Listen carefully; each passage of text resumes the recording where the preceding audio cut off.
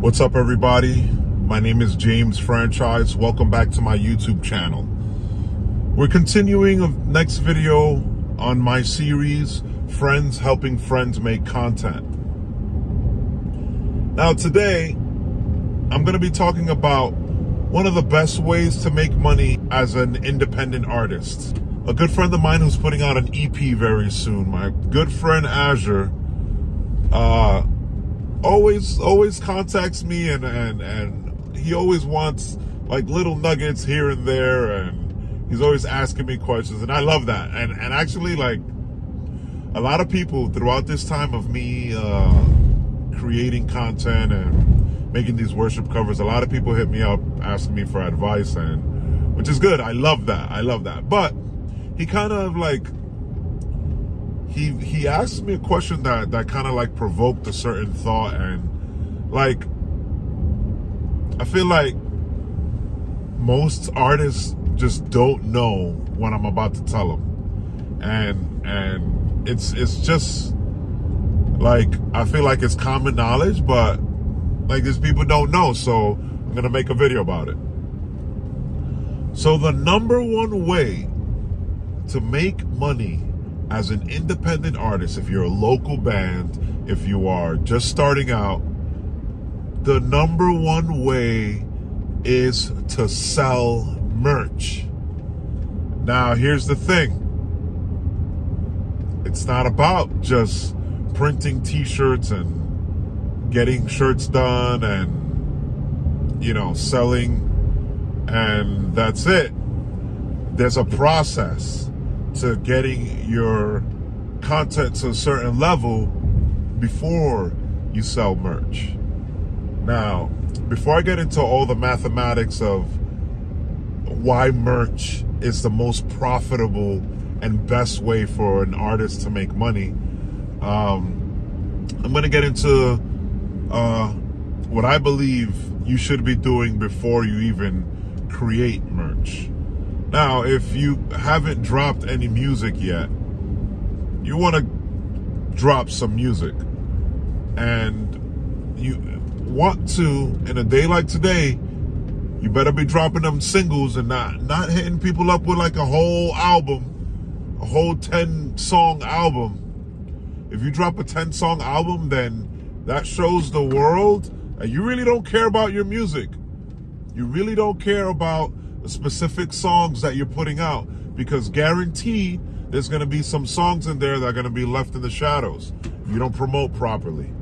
So you better be dropping singles. And for each single, you better be building an entire story around each single. So you got to be doing this before you even think about merch. You got to be doing this. Now, how do you build a story? That's going to be in future videos. But at the minimum, you should have a single screen video, which is just your album cover or your single cover playing on a video. You should have a lyric video. That's number two. And lastly, you should have a music video, some kind of visual, some kind of music video attached to your song. So after you do this, after you have at the minimum three songs ready to go, drop these singles at least once a month, the minimum once a month. I, I like to do six weeks, but sometimes the demand is a little stronger for my fan base and my niche. So I'll, I'll do once every three to four weeks. Um, then you gotta have some shows booked because it's going to be hard to sell merch if you're not like physically bringing your content to people. Either that or you should have some kind of like online streaming presence. If you don't want to do shows, which is fine. Again, we live in a weird age where like things are different than they were back then. So you don't have to physically go and do shows, but you should be streaming. Streaming should be should replace doing live shows. You got to do one or the other. So you got to have like some streams lined up or some shows lined up where where you are uh, active so that you can sell the I almost hit a duck so you can sell uh, the merch. That's what you that's what you need. You need to bring this content to people so people can see your value. Bring in your music in a physical form so you can show your value to people. Then you create merch.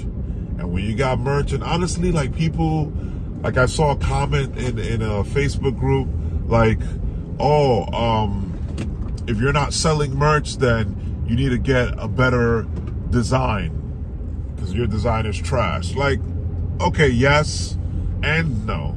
Like, you're not gonna have like weird, like half effort designs on your t shirts, but also you don't really have to pay so much for a graphic artist.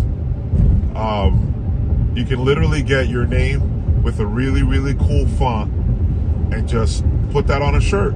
And that's your design. And people will support. If they like your content, if they like your music, people will support. Doesn't matter what you got on that shirt. So let's get into the mathematics of why making shirts is so profitable and this band like I, have played with bands and it and it drives me wild it drives me crazy i've played shows with bands that are good i'm telling you like better than us at the time and i'm like yo these guys are good and i and i go to the singer i'm like yo you guys are good i mean i want to help you guys out i'll give you guys some gas money or let's see what what merch you got for sale. Oh, we don't have merch at the moment. It's something that we were thinking about. We want to get merch, and we want we want. I'm like, yo, that's crazy. And I'm talking like the show had maybe like 100, 120 people. Imagine converting at least like 25% of of people in attendance that you're selling merch to. $25 a shirt. Anyway, Let's get into the mathematics of it. Let's say you're buying a shirt. It's one, let's say one, one font, one color, black shirts. So you go basic, Gildan Soft, which is like the most basic, basic shirt. And Gildan gets a lot of flack, but I think there's like different like tiers of, of Gildan shirts. And I think like one of them is called Gildan Soft or something like that, where it's not like that hard, like cotton, like regular Gildan shirt. I think those are, are pretty good. And um, it's not like it's not nothing crazy. But um, okay. Let's say you're paying nine dollars. Let me pull out my calculator. Let's say let's say you're paying nine dollars a shirt. I'll, I'll pull out my calculator real quick. Calculator. All right. I got my calculator. Let's say you're paying nine dollars a shirt. Most, most, uh, like shirt printing companies will ask you to do a minimum of 24 shirts. So nine times 24, $216. 200, let me see. All right, there you go. $216 that's really doable, especially if you're in a band. If you're in a band and out of the four of you, out of the three of you, out of the five of you, you guys cannot put together $216, it's time to it's time to reset your priorities. I'm telling you right now, and that's aggressive and that's harsh, but stop buying Chinese food, stop buying takeout Say no to that social function. Say no to all those subscription services. It's people that got subscription services for one TV show. Time to say no to that. Get together with your people, or if you're by yourself, save up money. $216 for a bulk of 24 shirts. You're going to price the shirts minimum $20 if you if you if you put in time to if you put in energy, if you put in time to your content, into your into your artistry, into your music, minimum twenty dollars a shirt. So if you got 20, 24 shirts times $20. $480 you're making off this off this bulk of shirts. You see what I'm saying? Like people neglect making merch and this is crazy to me. $480. That's crazy. So, you minus what was the the figure? 216. You're making $264 in profit. That's more than twice your profit. That's crazy.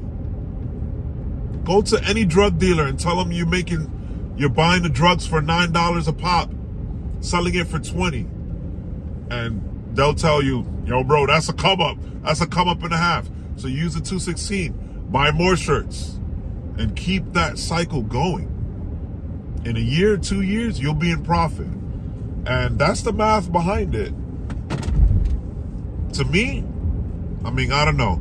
Tell me in the comments if I'm bugging, if I'm going crazy. But to me, that's the best way. That's the best way to make money. That's the number one best way to make money. And people complaining about pay to play or don't pay to play, or people complaining, oh, Spotify for every three plays gives me one cent. Like, why are you trying to make your money off off of Spotify? Why are you trying to make money off of ticket sales in New York City or in a local show? Like, these promoters gotta gotta pay their their their their stuff. These promoters are gonna take take the money. Why are you why are you complaining about that? Go get merch. Go put on a a, a good performance. Put on a good performance. Work on your your musicianship. Work on your stage presence. Make a memorable performance. You make a memorable performance, you're selling out of your merch. And I'm telling you because I've been there. I've been there where not even a like we we we practice our tails off and we sold out on merch. Anyway, it's just something that I think, you know, more people should know and hopefully this video helps you. Send this to, to your bandmates and tell them like, look, James Franchise said we got to pay for merch. Let's pay for merch. But more bands need to be doing this, especially if you're just starting out. You gotta get on that merch. Set yourself up to make yourself, make your value known. Get that merch. Sell out of that merch. Keep buying merch. Keep playing shows. Keep going live. That's the way to do it. Anyway, I've been James Franchise. I feel like this was like a dad moment. Like I, I feel like a dad, like like talking my kids. But um, yeah, I love you guys, man, and you know, I, I, I, I, I, say all of this out of love. Um, yeah, I want to see you guys succeed. So, yeah, love you guys. Uh, catch you guys in the next video. Comment, like, subscribe, do all the stuff you got to do to this video, man. Take care.